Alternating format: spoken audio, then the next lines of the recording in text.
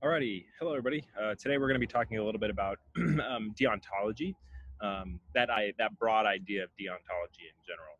Um, deontology is often uh, understood sort of in juxtaposition to consequentialism. Right. Last class we talked about how consequentialism is a form of uh, moral evaluation where we look at the outcomes of an action to determine if that action is good or bad. Um, consequentialists disagree on what outcomes we should want.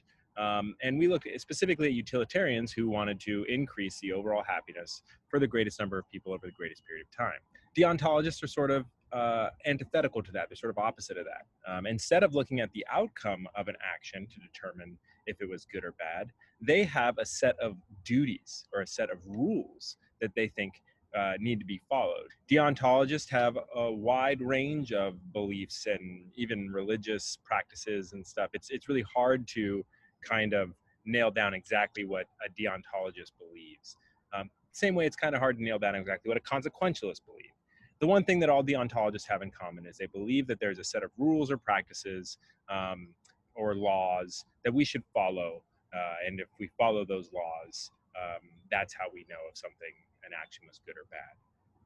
In fact, the word uh, uh, deont means duty. It's a Greek word for duty. A lot of religions are deontological. Uh, all the Abrahamic religions are deontological, right? They have commandments, uh, they have duties, um, and it's important that practitioners of those beliefs follow those duties, uh, regardless of circumstance, regardless of outcome, um, regardless of anything. But not only religions. Um, if any of you like Marcus Aurelius or Stoicism, uh, that's a deontological uh, ethic.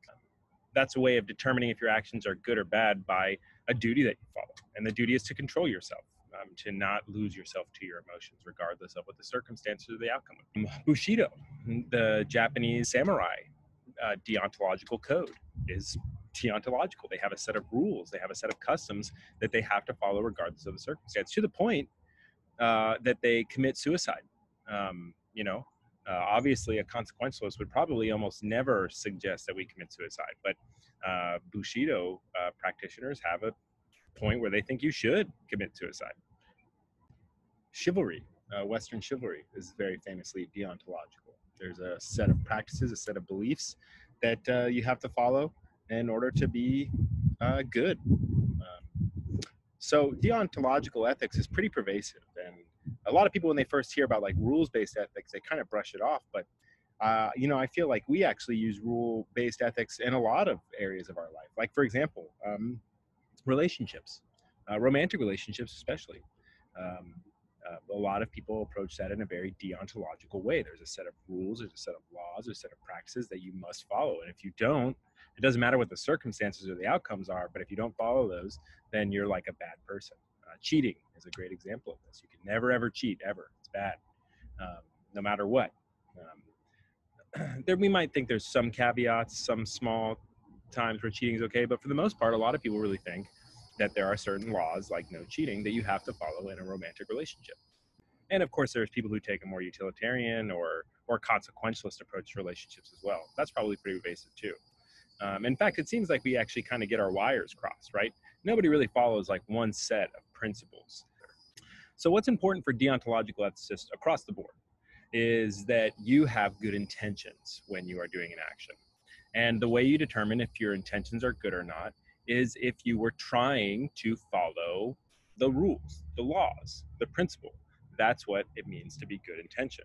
If you're trying for the best possible outcome, well, that's not really good intentions because the best possible outcome is not a good way to evaluate uh, whether something is ethical or not. Um, the way to evaluate is your adherence to the rules. So, good intentions are you're wanting to adhere to the rules. That's what we determine, or that's what we use to determine if someone or if an action was good or bad. Anyway, let me know what you guys think in the comments. Um, should we be following a set of rules um, in order to determine if uh, if our actions are good or bad? Uh, and if so, uh, what set of rules should we follow? And how do we know that those rules are the set of rules that we should follow? Um, all right, looking forward to hearing y'all's thoughts.